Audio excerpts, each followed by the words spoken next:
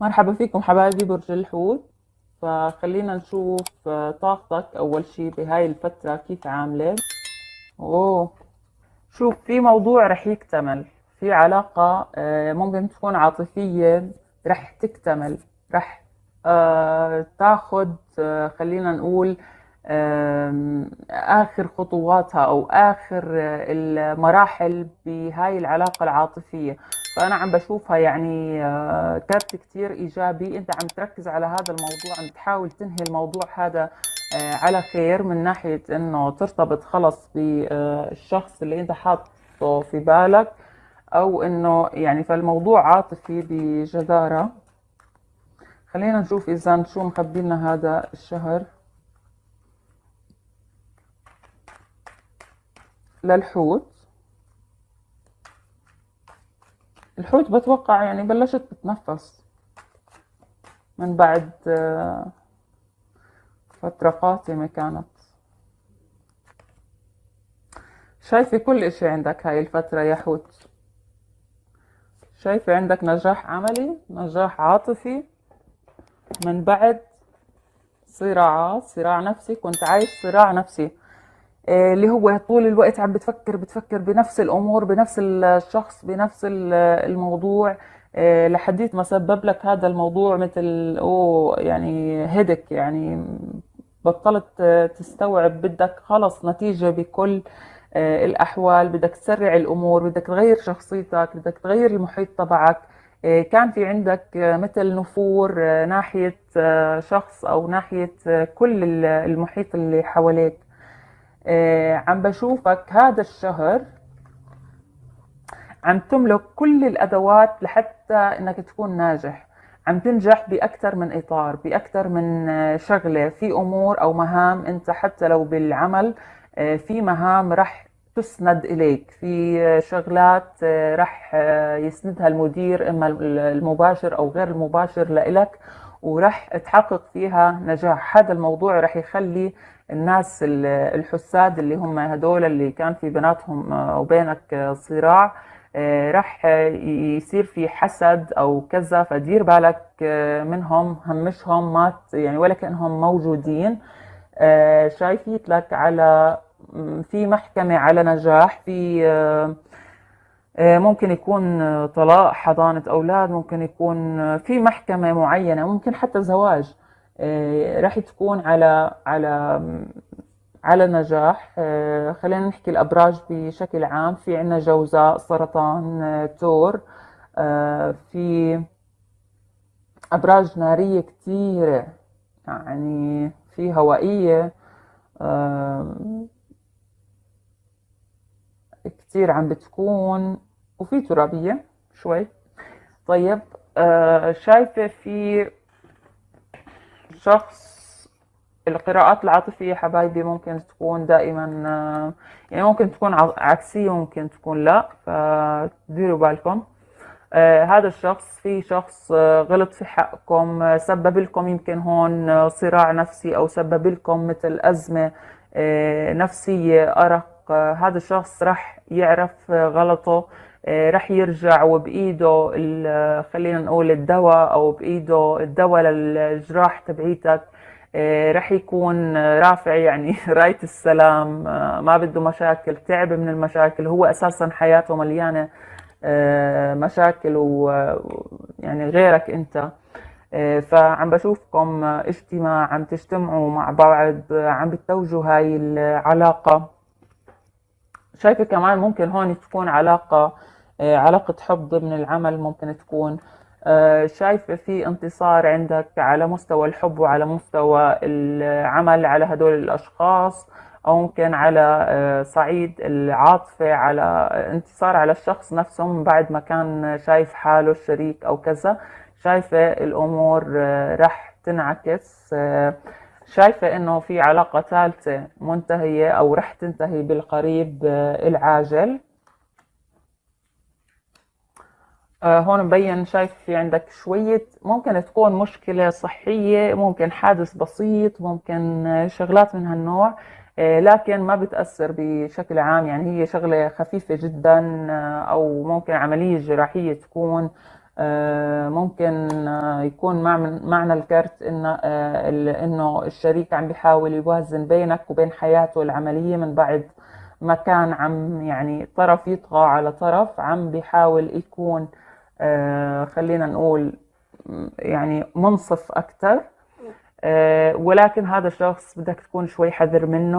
آه، هذا الشخص شوي صعب باتخاذ القرارات. آه، هو شخص خلينا نقول مش ناضج تماما فنكون شوي بس هو بحبنا إحنا بنحبه لكن عم بيكون في شوية مش تلاعب ولكن هو شخصيته هيك ما عنده نضوج كفاية بشوفه. هذا الشخص. فنكون يعني منتبهين لهاي القضية. نشوف كمان على العاطفة. هون عم بشوفك آه، في أشخاص عم يدعوا لك في الليل يا برج الحوت. آه، عم بحبوك من قلبهم يمكن يكونوا أم أو أخوات لأنهم إناث. عم بشوف دعواتهم عن جد عم توصل وعم تتحقق لإلك. ففي أشخاص بحبوك يعني نيالك آه، في عندك حب حقيقي اللي قلنا آه، عليه. ولكن زي ما قلت لك أنت فعلا رح تكون حريص من هذا آه، الشخص. شايفة تغير عندك تغير جذري. من ناحية الحب والعلاقة تغير في خلينا نقول بتفكير الحبيب فينا وبتفكيرنا إحنا بالحبيب وبالعلاقة في تجديد على هذا الصعيد. شايفيته الحبيب من بعد ما كان كتير آه، خلينا نقول آه، معاه زمام الأمور وهو متحكم بالأمور عم تنقلب الورقة عم تنقلب يعني الآية. شايفه عم يتطلع لك آه، حتى وهو معك وحتى وهو بعيد شايفه إنه شايفك مثل الجوهرة مثل الشغلة اللي ما رح تتكرر لكن الشغلة السيئة اللي طلعت لنا في الأخير العلاقة الثالثة مع الأعمال والأسحار.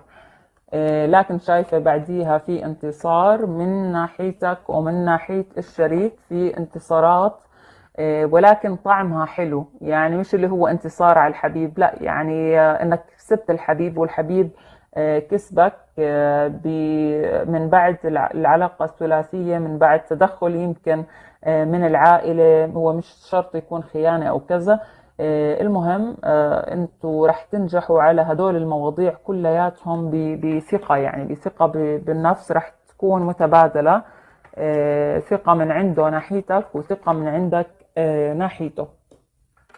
خلينا نشوف عقلك الباطن أكثر إشي هاي الفترة على شو عم بيركز شو عم بتهتم أكثر شي. طلعت لك لحالها. أوه حلو. هون عم بشوف آه، اللي هو تحسن مالي والتحسن المالي يعني بينعكس أو هو أساسا نتيجة آه، تطور بالعمل. فشايفه إنه التطور بالعمل في آه، أمنيات في العمل في ترقيات أكثر من ترقية في هاي الفترة. مع الترقيات كمان في وفرة مالية فجدا أنت راح تكون مركز على هذا الموضوع وراح تكون مسيطر عليه أو حاصل عليه إن شاء الله خلال هاي الفترة. شوف إذا في تحذيرات من الورق لبرج الحوت. آه نفس الكارت اللي قبل شوي آه هون بيطمنك بالعكس مش تحذير بيطمنك إنه معك مفتاح قلب الحبيب معك مفتاح آه كل شيء بالفترة الجاي. أنت راح تكون مسيطر آه راح تكون مش عم تلعب بالحبيب لا. آه راح ترجع حقك من الحبيب آه كيف بيقولوا وزيادة يعني آه رح تركز على إنه ترجع حقك منه. هو غلط يمكن معك بواحد واثنين وثلاث رح تساوي هاي الأمور ترجع كرامتك منه. بعدين تبلش معاه صفحة جديدة لأنه مبين إنه التنين أنتو آه، مالكين قلوب آه، بعض. أنا هيك شايفة بالكرت أكثر شيء نشوف كروت آه، إذا في نصيحة معينة. miracles بيقول لك في معجزات في مثل الحبيب. الحبيب ممكن يقدم لك آه، شيء ممكن يقدم لك شيء انت ما كنت تتوقعه ابدا ابدا من هذا الشخص. كنت خلص فاقد الأمل في هذا الشخص أو مش حاطط عليه كتير آه، يعني اعتماد أو كتير طموحاتك ما كنت حاطها كتير على الشريك. عم بتشك فيه بنواياه ولكنه رح يقدم لك كتير أمور مثل تطمينات مثل آه، هو رح يكون صلاح الدين يمكن مثل آه، بيقولوا له مصباح علاء الدين أو شيء. رح يكون مثل هيك ما بعرف إن شاء الله يكون يا رب.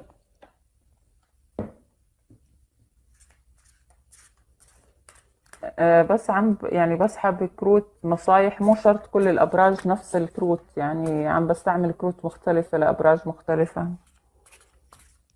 هو أصلا وقع لحاله. أوه. شايفة فستان زفاف آه، شايفة مثل زفاف أو حفل زفاف أو إعلان آه، announcement إعلان لموضوع عاطفي وأكنه رح يعلن رح يعلن عنه في هاي الفترة. فإن شاء الله يا رب للناس اللي حابين يعني. خلينا نشوف الكروت الرومانس مثلا.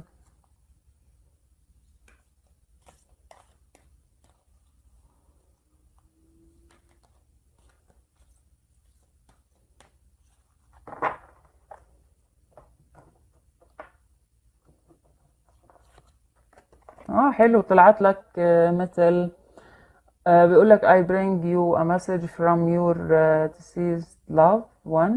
بيقول لك أنا عم بحمل لك رسالة من الحبيب القديم أو الحبيب اللي موجود. آه، عم بيقول لك إنه هو سعيد آه، وبسلام. بيقول لك آه، بيقول لك إنه بحبك كتير. I love you very much. Please don't worry about me. آه، هذا الكرت طلع أكثر من مرة فهاي رسالة من الحبيب ورسالة كتير حلوة. فحبايبي برج الحوت شوف كمان. الطاقة المسيطرة على العلاقة ممكن تكون انقلب. okay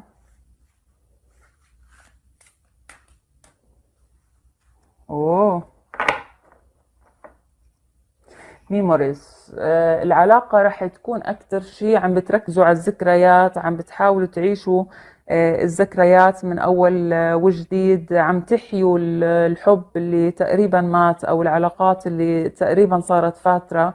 فعم بتحاولوا تعيدوا تنعشوها وترجعوا للذكريات القديمة وترجعوا آه تعيشوها في نفس الأماكن بنفس الطريقة. ما بعرف كيف بس آه هو هيك كان الكارت. آه، حبايبي